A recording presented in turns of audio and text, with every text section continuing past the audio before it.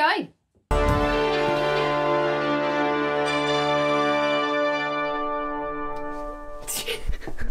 so it's been oh more than a month and a half since I've updated you on my projects. Obviously my last video was the little yarn shopping expedition. Ah, so much fun. Big news, I finished Jen's present. I can't show it to you. I haven't given it to her yet, so we're gonna have to wait. But we've got an epic photo shoot planned. When we have the photo shoot and I give her the present, all will be revealed. And I might actually do a special video just for that. Okay. I really should plan these things out a lot better than I do. Other things what I have been doing. Do you remember the Drea Renee knits So Faded Pint Sized that I'd, you know, hadn't planned on making but it sort of came my way? Well, I haven't finished it, but I'm at the bottom. I'm at the band now. So just doing the, uh, the ribbing at the bottom. And then I'm actually going to do short sleeves on this. Look, I've done other things in between. So this is kind of my go back to project, I suppose, until until it's all done. Yeah, the question will be, can I get Freya to wear it? Can I get her to wear it? Hopefully there's enough pink in it to uh, persuade her, but um, I think she would have preferred a lot more pink. She's going through a pink phase. We all had one. I, I know we did. I've only made one hat so far for AKWAK and it's not quite finished. It was the one and only crocheted hat that I'd, or pattern that I'd chosen. Waves by Snowdrop Designs. Uh, and I did it in the totem that I was gifted. Uh, the very ancient totem, if you remember. You know, you know, this stuff. Little 25 gram balls. So I think there's four and a bit 25 gram balls in here. If you can do your maths, it's just over 100 grams. It's not as soft. Doesn't feel as soft. Like the yarn itself isn't too bad. I mean, it's not as soft as the things that I bought from the yarn market. Because it's crocheted and it's quite a dense fabric, it just doesn't feel that soft. So what I'm going to do is I'm going to block it or wash it and I'm going to try using some hair conditioner uh, after the wool wash and see what happens, see if that helps in any way. And I have made a pom-pom for it. I've gone with the blue, so a mix of blue. Also in wool, just from my stash. So I think that's going to look pretty, pretty rad, don't you? I'm going to wash it and then put the pom-pom on. I don't know about you, but I kind of prefer not washing the pom-pom. what do you do? Do you pom-pom then wash or... Yeah, I don't know. Hey, want to see a video of me trimming my pom-pom? That's not a euphemism! Sorry, I couldn't help myself. Um, so yeah, that, that'll be nearly ready to go to AKWAK soon, soon. The other little thing I whipped up for Freya for school was uh, like an ear warmer, just a crochet pattern. Oh gosh, I found it online. I wrote it down because I had to resize. So the, the original pattern was for ten ply and I didn't have any dark blue ten ply. So I had to do a bit of, ah, here we go, I did write it down. It's the Pico is it Pico or Picot? I would say Pico, but what would I know? The Pico headband by The Turtle Trunk, available on YouTube and her blog. Obviously, links. I only had eight plies, so I had to do a little bit of maths, a little bit of maths, and I worked out how many stitches I was going to do. Now, of course, she's Freya's put it on her head and said, oh, it's itchy!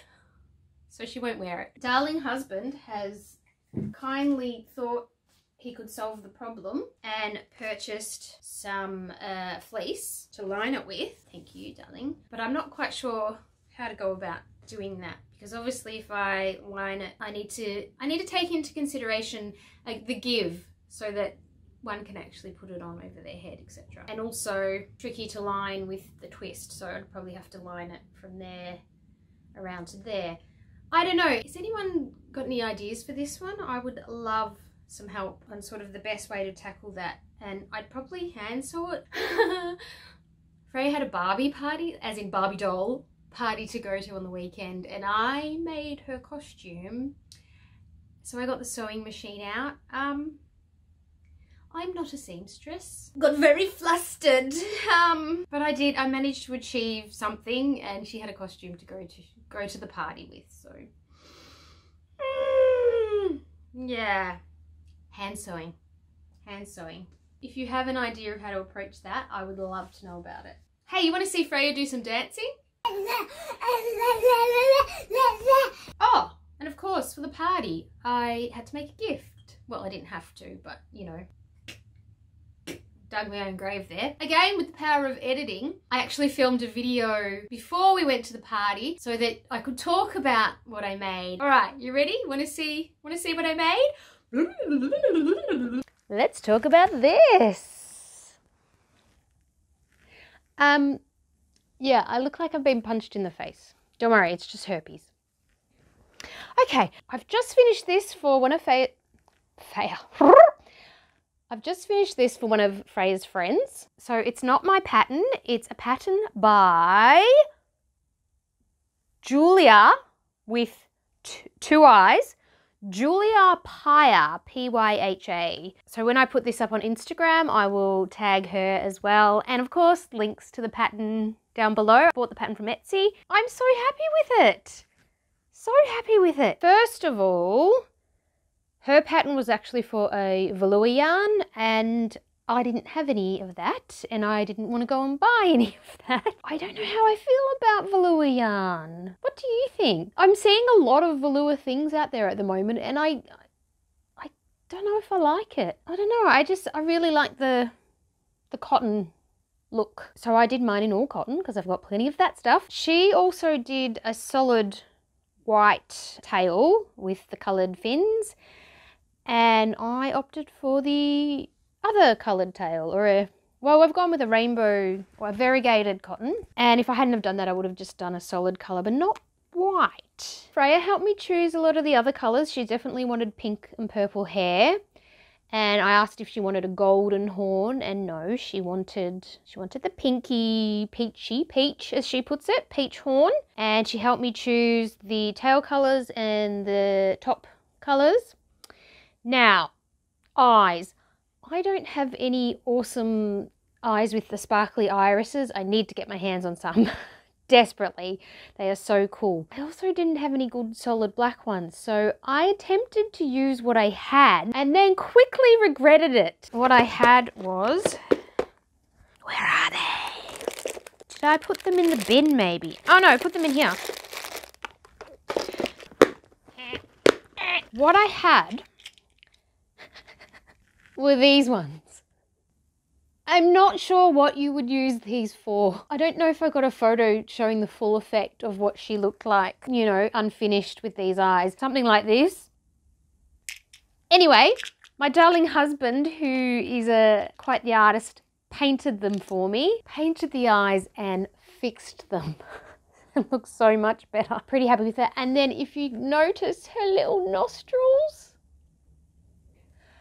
I had a whole heap of pink buttons that I'd picked up from the op shop and I thought, oh, you know, there's all different sizes. Hopefully I find, you know, a normal button in the in the right size. And then I spotted the love hearts and I adore them. I think that's my favorite thing about it is the love heart nostrils. Oh, I'm very happy with this, I must say. I'm gonna pick some of the fluff that's stuck to her eyeball. She's also got pipe cleaners inside to shape the arms and the body, but uh, I didn't do a super good job and I've discovered that the pipe cleaner shifted up inside and it's not sticking, it's not down in the tail anymore, so it's not really doing its job.